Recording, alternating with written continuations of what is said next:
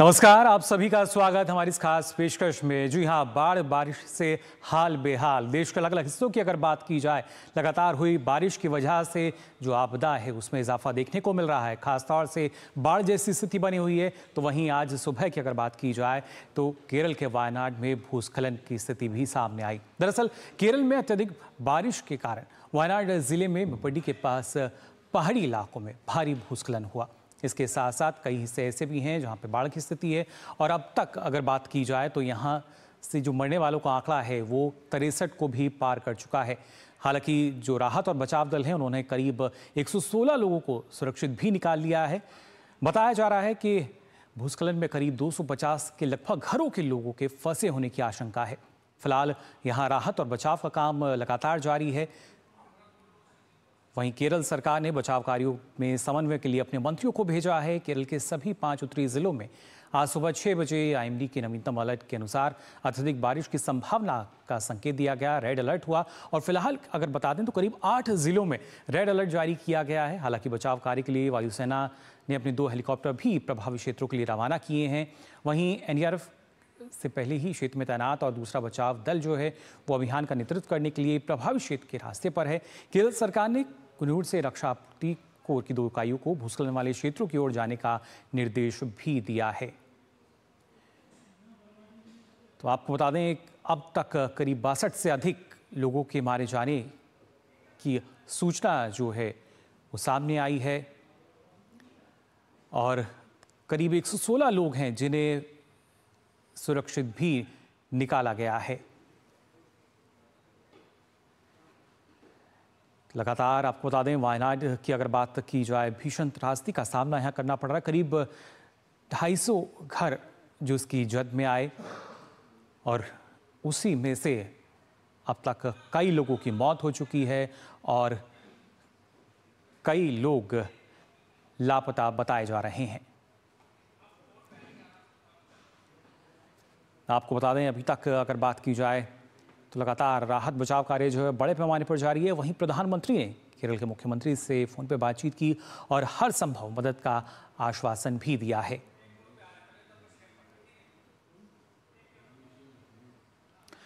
तो खासतौर से जिस तरीके से वायनाड में परिस्थितियाँ बनी हुई हैं, उसको देखते हुए लगातार प्रयास की जा रहे हैं। राहत बचाव दल जो है, वो बड़े पैमाने पर काम कर रहे हैं। वहीं राष्ट्रपति द्रौपदी मुर्मू ने वायनाड भूस्खलन हादसे पर दुख जताया है। उन्होंने सोशल मीडिया प्लेटफॉर्म एक्स पर लिखा कि केरल के वायनाड में भीषण भूस्खलन के कारण लोगों की मौत से दुखी हूँ। शोक संतप्त परिवारों के प्रति मेरी संवेदनाएँ। मैं घायलों के शीघ्र स्वस्थ होने और बचाव कार्यों की सफलता के लिए प्रार्थना करती हूँ। तो ना सिर्फ़ राष्ट्रपति बल्कि प्रधानमंत्री ने भी जो केरल के वायनाड में भूस्खलन की स्थिति आई है, इस पर दुख जताया। प्रधानमंत्री ने एक्स पर पोस्ट कर लिखा कि वायनाड के कुछ हिस्सों में भूस्खलन से व्यथित हूँ। मेरी संवेदनाएँ उन सभी लोगों के साथ हैं जिन्होंने अपने प्रियजनों को खो दिया और घायलों के लिए प्रार्थना करता हूँ। प्रभावित सभी लोगों की सहायता के लिए बचाव अभियान अभी चल रहा है। केरल के मुख्यमंत्री से बात की है और वहाँ की मौजूदा स्थिति के मद्देनज़र केंद्र से हर संभव मदद का आश्वासन भी दिया है। तो ना सिर्फ़ प्रधानमंत्री ने दुख जताया, बल्कि आपको बता दें कि यहाँ पर प्रधानमंत्री नरेंद्र मोदी ने वायनाड हादसे में मारे गए लोगों के परिजनों को आर्थिक सहायता की घोषणा भी की है। प्रधानमंत्री के कार्यालय ने एक्स पर पोस्ट कर ये जानकारी दी। प्रधानमंत्री ने वायनाड के कुछ हिस्सों में भूस्खलन में मारे गए प्रत्येक व्यक्ति के परिजनों को प्रधानमंत्री राहत कोष से दो दो लाख रुपए की अनुग्रह राशि देने की घोषणा की है। इसके साथ ही घायलों को भी पचास हज़ार रुपये की आर्थिक मदद दी जाएगी। इसके साथ ही रक्षा मंत्री राजनाथ सिंह ने भी वायनाड हादसे पर दुख जताया।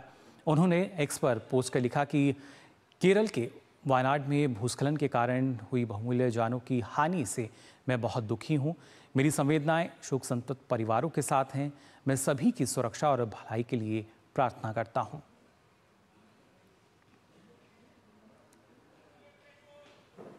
वहीं अगर बात करें केंद्रीय गृह एवं सहकारिता मंत्री अमित शाह की, उन्होंने भी वायनाड हादसे पर शोक प्रकट किया है।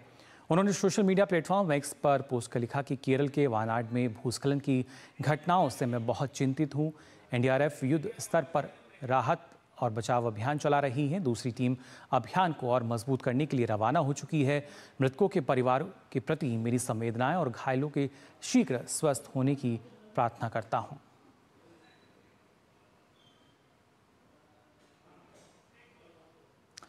तो लगातार जो स्थिति है वो बनी हुई है और उस पर लगातार राहत और बचाव कार्य भी बड़े पैमाने पर काम कर रहा है। फ़िलहाल हम यहाँ रुक रहे हैं एक छोटे से ब्रेक के लिए। दादी के हाथों का जादू और खुशबू से महकता घर। एमडीएच गरम मसाला असली मसालों से भरा हूँ मैं। क्योंकि हर रिश्ता है स्वाद से जुड़ा। सोना सिर्फ़ कहना नहीं होता। कभी पुश्तैनी पहचान तो कभी प्यारी सी याद होती है। लाइफ में आगे बढ़ने के लिए उसी सोने से गोल्ड लोन लेने का फैसला समझदारी का होता है मुथुट फाइनेंस ये बात समझते हैं इसीलिए वो ईमानदारी सच्चाई और आपके विश्वास को सबसे बढ़कर मानते हैं मुथुट फाइनेंस सदियों का भरोसा हमेशा के लिए तो गोल्ड लोन के लिए कॉल करें one eight hundred three one three one two one two એ સાંભળ કર હા આ મારો પપ્પા ફોરેન થી લઈ આવ્યો છે હા ए ए ए ए सत्यानाश भाई नुकसान कैसा भरेगा तुम? स्टॉक मार्केट में भी रिस्क उतना ही लें जितने की कैपेसिटी और रिस्क की जानकारी हो। ऑप्शन ट्रेडिंग बहुत सोच समझ कर करें। अरे वाह डिकरा एकदम बराबर। रिस्क समझ कर लेने का। सोच कर समझ कर इन्वेस्ट कर। तो ब्रेक के बाद आप सभी का एक बार फिर स्वागत। आप देख रहे हैं हमारी खास पेशकश बाढ़ बारिश से कैसे हाल बेहाल हो रखा है और केरल के वायनाड में भूस्खलन की जो स्थिति, भारी भूस्खलन यहाँ हुआ है, इस पर केंद्रीय मंत्री जॉर्ज कुरियन ने वायनाड भूस्खलन हादसे पर कहा कि प्रधानमंत्री नरेंद्र मोदी सुबह से इस घटना को लेकर सक्रिय हैं और हर एक चीज़ की निगरानी कर रहे हैं। उन्होंने कहा कि केरल और केरल के बाहर से राहत और बचाव कार्य के लिए अर्धसैनिक बल पहुँच रहे हैं। Prime Minister was active in this thing. And uh, monitoring everything. He was taking the stock of the situation and uh, directed uh, the horse and NDRF uh, to uh, reach there for immediate uh, this rescue actions. They already moved and from Kerala and outside Kerala, South India, these all forces are alerted. And I think the NDRF team from other state also moved already and Air Force uh, might have reached there now, and uh, Navy and uh, Army also reaching there. This uh, hilly area, uh, that is the problem to reach there. It is very difficult by road. Uh, the helicopter and other uh, this help is uh, needed. और फिलहाल हम यहाँ रुक रहे हैं एक और छोटी सी ब्रेक के लिए जल्द हाजिर होते हैं एमडीएच का किचन किंग किचन में हो तो हम सब कुछ बना सकते हैं। बैंगन का भरता आलू गोभी भिंडी मसाला और भी बहुत कुछ। डिजिटल बैंकिंग का है जमाना। टाइम है बचाना। डिजिटल बैंकिंग है आसान। करो चाहे कोई भुगतान। Any time any way safe है फास्ट है हर पेमेंट उंगलियों पे सेट है। लेन देन के हैं ऑप्शंस कई। I M P S N E F T U P I भी चौबीस घंटे करते ये काम पेमेंट आसान और रहे आराम। आरबीआई कहता है जानकार बनिए। सतर्क रहिए। चुटकुला समझ नहीं आया? समझ तो ये नहीं आता कि खेत धान का या खरपतवार का। तो इसमें समझना क्या है दोस्त? ले आओ धान के खरपतवारों का स्पेशलिस्ट ग्रीन लेवल आईआईएल के ट्रैक्टर ब्रांड का ग्रीन लेबल धान के खरपतवारों का स्पेशलिस्ट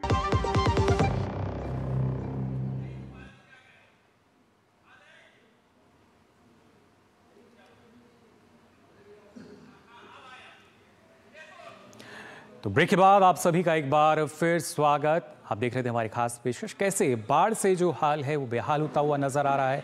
और खास तौर से, ना सिर्फ़ हमने इससे पहले बात की थी केरल के वायनाड की, लेकिन अगर बात की जाए महाराष्ट्र और खासतौर से पश्चिमी महाराष्ट्र की अगर बात की जाए तो वहाँ ऑपरेशन राहत जो है, वो चल रहा है। जी हाँ फिर चाहे सांगली की बात की जाए, या इसके साथ साथ हम अगर बात करें जो दूसरे और भी ज़िले हैं, उसमें भी भारी बारिश की वजह से लोगों को कहीं ना कहीं काफ़ी मुश्किलों का सामना करना पड़ रहा है। दरअसल भारी बारिश और बाँध से निकलने वाले पानी के चलते पश्चिमी महाराष्ट्र के सांगली में बाहर, अगर बात की जाए तो बाढ़ की स्थिति बनी हुई है, जिसके चलते यहाँ स्थानीय प्रशासन, एनडीआरएफ और भारतीय सेना की दक्षिणी कमान लगातार राहत और बचाव कार्य में लगी हुई है।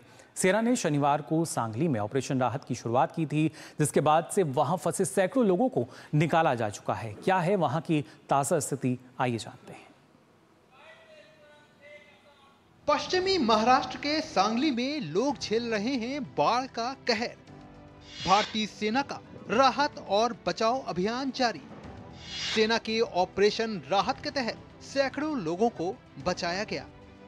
भारतीय सेना की दक्षिणी कमान लगातार बारिश और बाढ़ से बुरी तरह प्रभावित पश्चिमी महाराष्ट्र के सांगली में ऑपरेशन राहत चला रही है।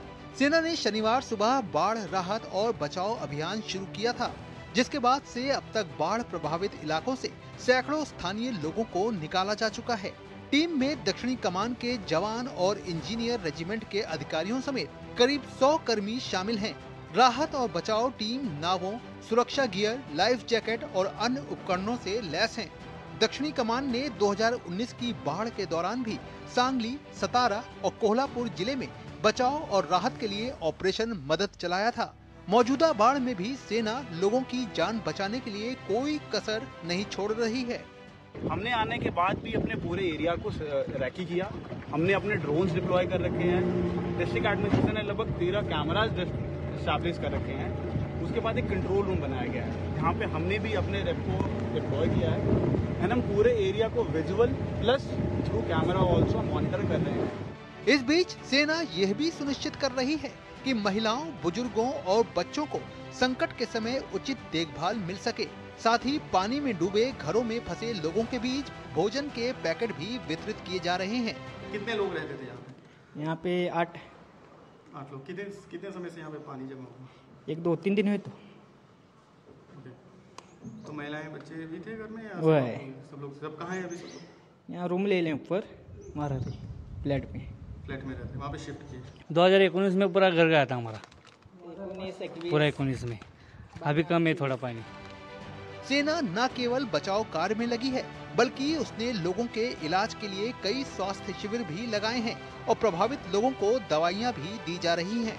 हम पूरा इक्विपमेंट लेके चलते हैं हमारे साथ जो कि हम आधे घंटे के अंदर जो भी लोकेशन दी वहाँ पे हम एक पूरा सेटअप हमारा तैयार करते हैं जहाँ पे हम मेडिकल कैंप चला सकते हैं जहाँ पे हम इन पेशेंट लोगों को ट्रीट कर सकते हैं। ये ज़्यादातर जो फ्लड्स के कारण लेट सिम्टम्स होते हैं लक्षण होते हैं जैसे कि लूज मोशन फ़ूड पॉइजनिंग या अ, मच्छर काटने की वजह से डेंगू फीवर टाइफॉइड जैसे पानी के माध्यम से फैलने वाली बीमारियाँ ये सारी हो रही है। और जो नॉर्मल सर्दी खांसी वायरल फीवर जो होता है बहुत देर पानी के एरिया में फंसे रहने के कारण उसके वो सारे हमारे पास बीमारियाँ ज़्यादा आ रही हैं। सांगली में बाढ़ का एक मुख्य कारण कोयना और वारना बांधों का पानी है। इन दोनों बांधों से निकलने वाला पानी कृष्णा नदी में बहता है, जो सांगली शहर से होते हुए कर्नाटक के अलमट्टी बाँध तक जाता है।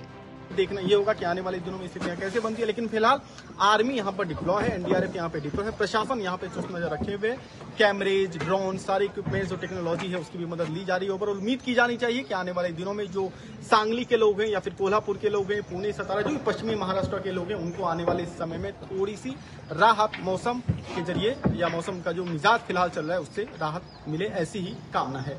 अपने सहयोगी कपिल के साथ मनीष कुमार सिंह दूरदर्शन समाचार, महाराष्ट्र।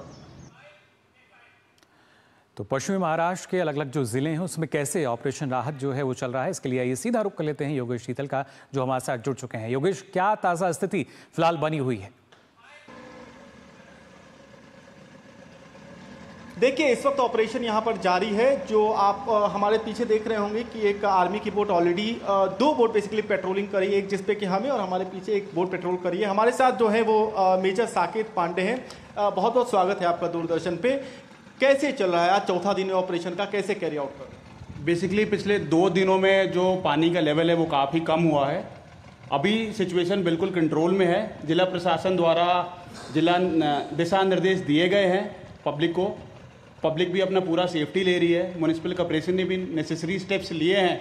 एंड अभी जैसे कि पानी कम हो रहा है धीरे धीरे लोग घर में वापस आना शुरू हो गए हैं। एंड जो पोस्ट फ्लड सिचुएशन होता है उसके लिए भी पूरी तरह से म्यूनिसिपल कॉरपोरेशन जो यहाँ की है वो तैयार है। यहाँ के जो म्यूनिसिपल कॉरपोरेशन कमिश्नर हैं शुभम गुप्ता उन्होंने भी दिशा निर्देश दिए हैं और नेसेसरी प्रिकॉशंस लिए जा रहे हैं। एक बात बताइए जिस तरीके से हम देख रहे हैं कि कई गाड़ियाँ डूबी हुई थी कल भी हमने देखा था कि घर डूबे हुए थे वहाँ पे कुछ लोग इक्के दुक्के थे। तो आप जो पेट्रोलिंग कर रहे हैं वो क्या रूटीन पेट्रोलिंग हो रहा है या फिर आप एक फ्रीक्वेंसी किस तरीके आपका पेट्रोलिंग का फ्रीक्वेंसी किस तरीके से? अभी जो है ये रूटीन पेट्रोलिंग है। इसके पहले क्या था जब हम आए थे उस समय पे जिला प्रशासन ने निर्धारित कर रखा था कि कितने वाटर लेवल पे कौन कौन से एरियाज़ इफेक्टेड होंगे। उसी हिसाब से लोगों को वहाँ से इवैकुएट किया गया था। हमने के आने के बाद एक सर्च ऑपरेशन लॉन्च किया था, जिसमें हमने कोशिश करी थी कि जो भी लोग कहीं पे फंसे हुए हैं या जिन हाउसेज से लोगों को पहले ही इवैकुएट कर लिया गया है, वहाँ पे जो भी लोग हैं जो कि अभी फंसे हुए हैं तो हमने उनको निकालने की कोशिश करने की के लिए हमने सारे हाउसेज को सर्च किया था।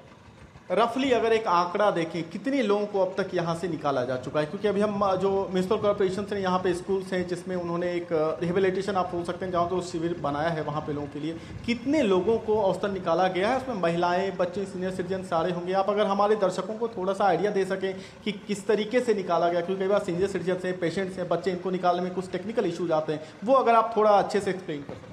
उसके लिए जिला जिला प्रशासन ने अपना पहले से बहुत ही अच्छा होमवर्क कर रखा था। एंड उन्होंने लोगों को यहाँ से लगभग कन्विंस कर लिया था निकालने के लिए। उसके बाद इनको दो जगह पे जो रिलोकेट किया गया है, एक जगह पे हमने कल कैंप लगाया था मेडिकल कैंप एंड परसों भी हमने एक मेडिकल कैंप लगाया था, जहाँ पे जो भी बच्चे या बुज़ुर्ग हैं, उनको जिस भी मेडिकल रिक्वायरमेंट की ज़रूरत है, हमने उनको प्रोवाइड किया। हमारे साथ हमारे मेडिकल टीम भी है नेसेसरी मेडिसिन हम कैरी कर रहे हैं। हमने जिसके ऊपर जो जो ज़रूरत थी डॉक्टर साहब ने चेक किया। एंड ऐसा कोई था जो ज़्यादा बीमार है, उसको यहाँ के सिविल हॉस्पिटल में रेफर किया गया है। जो फ़ूड पैकेट्स आपने डिस्ट्रीब्यूट किए थे क्योंकि कल हमने देखा था हमने दर्शकों को भी दिखाया था कि किस तरीके से फ़ूड पैकेट जो रॉ फ़ूड पैकेट्स हैं वो आप डिस्ट्रीब्यूट कर रहे हैं। क्या रहता है उन फ़ूड पैकेट्स में और ऐसे सिचुएशन में वो किस तरीके से लोगों के काम आता है?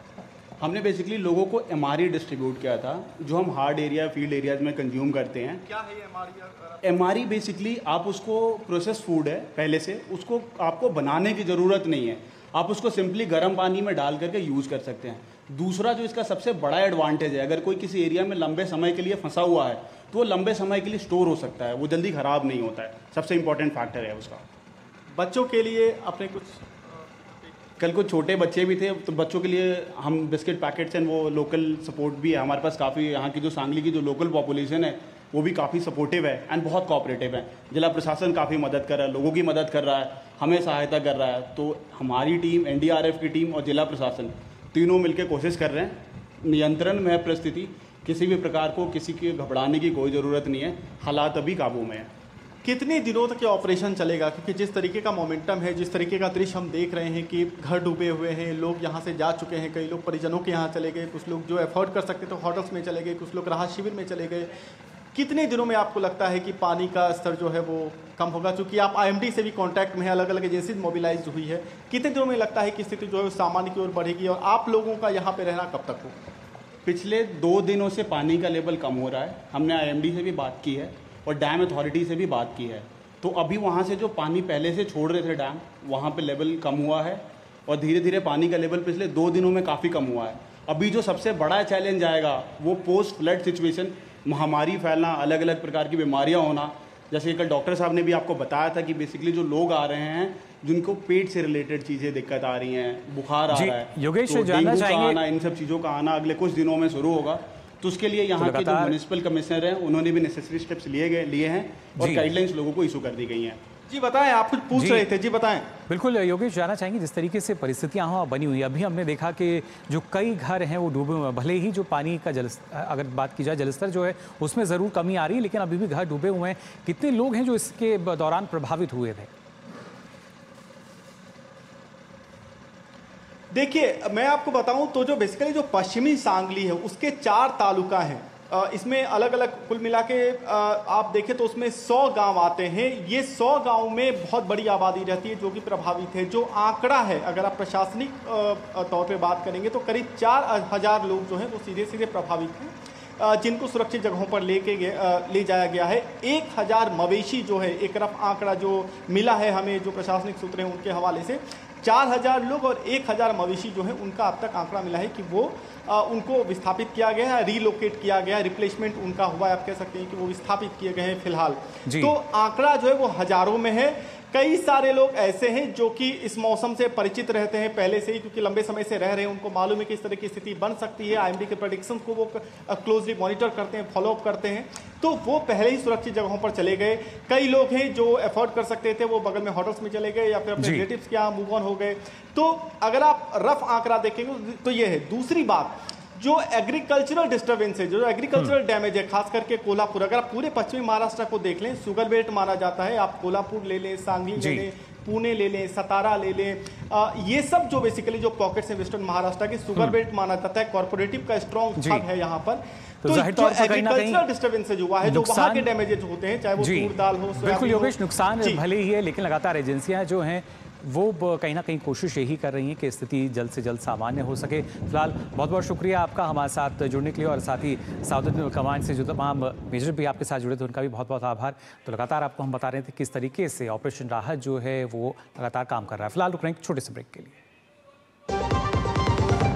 आपके घर के खाने में रेस्टोरेंट जैसा स्वाद ले आए एम का शाही पनीर मसाला। पनीर को क्या मस्त बना डाला। ऐसा कौन सा खजाना हाथ में लगा है? खजाना नहीं, मिशन मिल गया है। हम सबकी जीत का। भारत में बना आधुनिक कीटनाशक, जिसकी बेजोड़ क्वालिटी से मिले फ़सल की बेहतरीन पैदावार। आई आई एल के ट्रैक्टर ब्रांड का मिशन मिशन है तो जीत पक्की। बात जब पीढ़ियों के लिए बनने वाले घर की हो तो ज़िम्मेदारी बड़ी हो जाती है। गैलेंट समझता है ये ज़िम्मेदारी। अब डबल एम रिब्स के साथ Gallant advance T M T rebar निर्माण का रियल हीरो तो हमारे संवाददाता योगेश शीतल बता रहे थे, क्या स्थिति बनी हुई है ग्राउंड ज़ीरो पर? लगातार साउदर्न कमांड की अगर बात की जाए तो कोशिश यही कि फिर चाहे एक भी इंसान हो, मानव जाति से हो, या जैसा उन्होंने बताया कि जो मवेशी हैं, उनको भी सुरक्षित स्थान पर ले जाया गया है। और ना सिर्फ़ सांगली, बल्कि कोल्हापुर की भी अगर बात की जाए, खासतौर से पंचगंगा नदी जो है, वो अभी भी जो खतरे का निशान है, उससे करीब ढाई मीटर ऊपर बह रही है। और ऐसे में उम्मीद यही की जा रही है कि जब तक जलस्तर जो है, वो कम नहीं हो जाता, या खतरे के निशान से नीचे नहीं आ जाता जब तक पूरी तरीके से जो खतरा है उसको कम नहीं मारा जा सकता।